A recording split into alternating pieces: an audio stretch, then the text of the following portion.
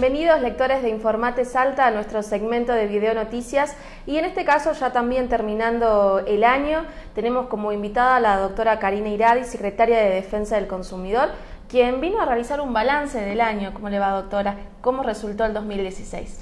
Bien, la verdad que un año muy intenso, eh, con mucha participación de la gente, lo cual es buenísimo, porque solamente cuando el consumidor se compromete en cosas que lo afectan es donde empezamos con la ayuda del consumidor a mejorar el sistema. El mercado en general es muy voraz y el consumidor es el que vive esa voracidad. Entonces, con su participación es donde nosotros podemos eh, ayudar a darle una solución. Eh, te decía que fue un año muy intenso porque recibimos más de 8.600 denuncias. De estas 8.600 tenemos eh, alrededor de un 78% de casos solucionados. ¿Esto qué significa? Que el consumidor fue a la Secretaría, realizó su denuncia por el problema que tenía con X empresa. En este sentido se dispuso de la audiencia de conciliación pertinente y en conciliación, en un plazo eh, razonablemente corto, eh, llegó a una solución. Digo razonablemente corto comparándolo con el sistema judicial. ¿Por qué? Porque en juicio, cuando uno tiene que hacer un proceso judicial, más allá de la celeridad que tiene que tener un proceso sumarísimo de consumo, tiene otros tiempos. Y la verdad que cuando a veces se nos rompe la heladera, cuando tenemos un problema de falta de prestación del servicio, cuando tenemos un incumplimiento contractual y por ahí este, los tiempos judiciales son diferentes. Y esto es lógico porque es un proceso judicial. La verdad que como política de Estado, desde que el gobernador asumió, le da el rango de secretaría a la defensa de los derechos del consumidor y hago una aclaración, es la única a nivel nacional, es la primera. Después tenemos direcciones, tenemos programa, este, pero no tienen el rango de, secretaría, entonces acá hay una atención directa a la problemática del consumidor.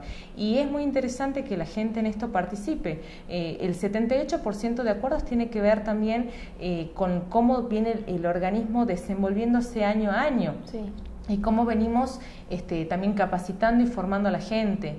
Y en eso también venimos desarrollando alternativas también que le signifique a la gente la posibilidad de la accesibilidad del servicio que le brinda el Estado. Por eso hemos eh, puesto eh, en, aplicación la app de celulares que es Consumidor Salta y que nos ha resultado también muy bien. Estamos hablando de eh, una herramienta que nos ha generado desde el lanzamiento que fue en el mes del consumidor, en el mes de marzo hasta la fecha, más de 1.100 denuncias y con más de 5.000 descargas. Y con otra, un, datito muy interesante de color que tiene que ver con la formación del consumidor. Este aplicativo tiene también la posibilidad de bajar eh, para nosotros lo que el organismo está haciendo, entonces la gente se entera en su casa de que eh, nosotros hemos sancionado o hemos realizado tal operativo o tal cuestión de consumo, que esto tiene un, rol accesorio, no solamente informar, sino que entendemos que la información al mismo tiempo va formando y capacitando a la gente.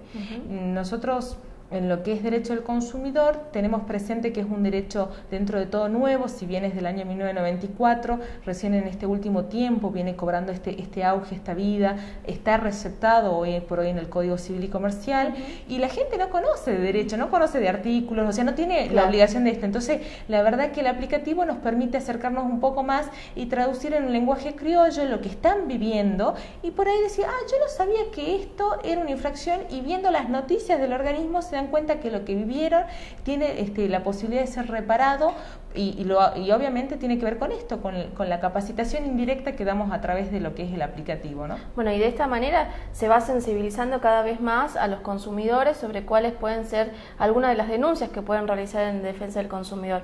¿Cuál puede ser el ranking de este año en cuanto a eh, temática de denuncia? Bien, en lo que es ranking, bueno, encabezan telefonía, que igual ha bajado comparativamente con años anteriores, pero sigue siendo el número uno en, el top, digamos, del ranking de, las empresas denunciadas. Tenemos los planes de ahorro, que esto realmente se ha incrementado muchísimo, esto nos preocupa, y en estos planes de ahorro hemos visto distintas cuestiones eh, que, se van eh, suscitando, porque muchas veces a la gente se le vende un plan de ahorro como si fuera para la adquisición de un auto, y resulta que es un plan solamente de capitalización, la gente no hace este distingo entre un plan de ahorro y capitalización y ve folletitos y confía mucho en lo que le dice el promotor. Se ofrecen muchas cosas cosas en el mercado, pero en los hechos cuando van a firmar los contratos que son contratos de adhesión. ¿Esto qué significa? No es que las partes se sientan a, negociar, ya está todo dado, está todo pre-redactado y lo único que hace el consumidor es poner su firma, su aclaración y el número de cuenta para debitar, digamos. Entonces, en esto, eh, de vuelta a las advertencias del organismo para que la gente eh, tenga presente que antes de contratar, lea ese contrato, que las palabras se las lleve el viento. En esto también va avanzando mucho lo que es eh, también cómo, cómo es la venta agresiva de estos planes, ya sea de los planes de ahorro como los, de los planes de capitalización. O sea, tenemos gente que, que nos eh, fogocita la adquisición de estos planes con la esperanza de tener el, auto eh, más o menos ya en la puerta de nuestra casa con la llavecita y resulta que cuando contraté, este, después no leí las cláusulas que decían y no era tan así como me estaban comentando, que tenía toda una integración de capital para ser este, eh, posible adjudicatario en la cuarta o en la sexta cuota y hay otros tipos de, de planes mixtos también que nos generan confusión. Entonces en esto la advertencia al consumidor de vuelta de este, este, previamente a firmar, porque una vez que firmamos estamos contratando y no hay derecho a decir no lo leí. Yo sé que son largos, son bastante, este, bastante eh, engorrosas por ahí, que de hecho nosotros hemos planteado este tema a nivel nacional eh, nosotros conformamos parte de la Confederación Federal de Consumo, del COFEDEC, este, y en esto también estamos trabajando para que la IGJ, que es el organismo nacional que aprueba los contratos, haga una revisión de todos estos contratos. La mayoría de estos contratos están aprobados antes de la reforma del año 1994, antes de la reforma constitucional, antes de que salga la ley de defensa del consumidor. Estamos hablando de planes de autos aprobados en el año 89-90, con lo cual el lenguaje no es claro y es muy fácil entonces que eh, nos engañen al momento de traducirnos lo que dice el contrato.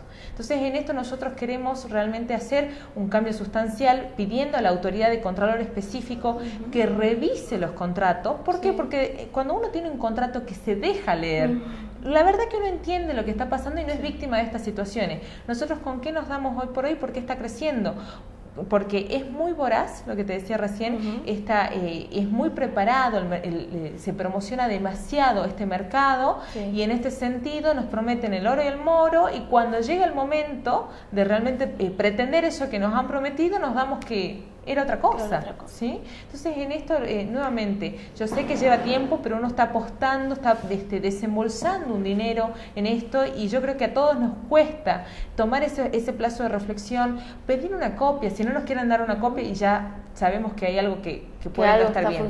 Entonces, una copia del contrato, leerlo con detenimiento. Si no lo entendemos, la Secretaría está a disposición para el asesoramiento, porque también esto nos preocupa, digamos. Nosotros eh, venimos actuando también eh, de manera preventiva, sí. Porque una vez que interviene la Secretaría, si bien vuelvo a repetirte, la cantidad de denuncias que hemos recibido este año es buenísima en, el sentido de participación ciudadana y la cantidad de acuerdos que vamos celebrando este, es decir, de la cantidad de personas que se van con el problema resuelto a su casa, también es un alto índice, es mejor prevenir que curar, ¿sí? Porque después, eh, la verdad que, es un dolor de cabeza, eh, genera todas otras, otras, otra serie de consecuencias, más allá de la solución posterior o no, porque si no, si yo no tuve la suerte de que me solucionen el problema en instancia de conciliación, porque esto tiene que ver con la voluntad de ambas partes, una instancia voluntaria, voy a tener que ir a un juicio por esta cuestión del problema. Entonces, en esto nosotros siempre buscamos buscamos, la prevención nos parece una herramienta sumamente útil.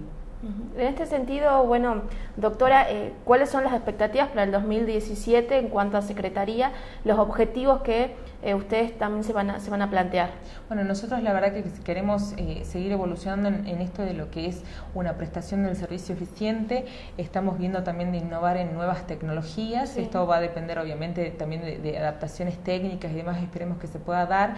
Entendemos del tiempo del consumidor, si bien este año hemos recibido un incremento interesante denuncias y, si, y, esto, ojo, que no es una cuestión de este año, o sea, año a año el organismo viene superando la cantidad de denuncias de años anteriores y tiene que ver con, esta, con estos pasitos como hormiga, la formación del consumidor, el tener presente que no importa que sea una mega empresa o una multinacional, o sea, no importa la envergadura de la empresa chiquita o grande, si existe un incumplimiento de la ley, eh, pues nosotros estamos ahí, digamos, para el consumidor. Entonces, en este sentido, tratar también de seguir acercando eh, al consumidor la accesibilidad accesibilidad del servicio que brinda el Estado.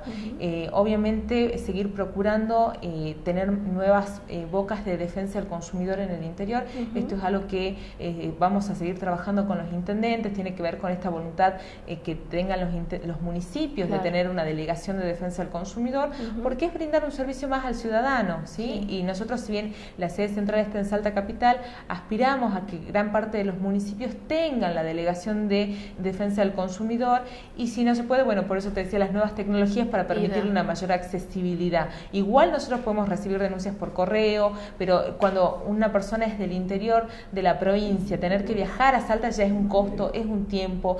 Entendemos en esto, digamos, las problemáticas del consumidor y por eso queremos seguir evolucionando.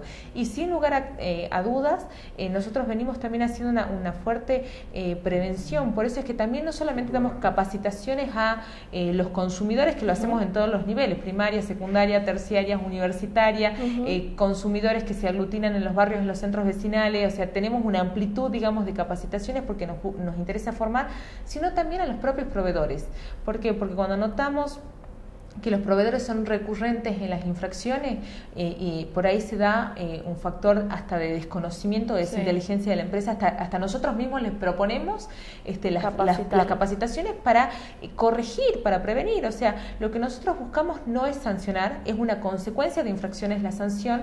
Nosotros buscamos que el mercado sea transparente y que le posibilite al consumidor optar, elegir y una vez que eligió, que se cumpla con aquello que eligió. Entonces, en esto también seguir incrementando lo que es la prevención, la capacitación, por eso eh, este año nosotros nos animamos a, también a dar otra capacitación a lo que fue la Cámara de Comercio y hacerlo, con los, hacerlo esto con los distintos sectores. ¿no?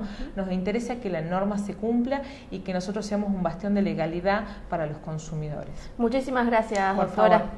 Estuvimos con la doctora Karina Iradi de Defensa del Consumidor de la provincia.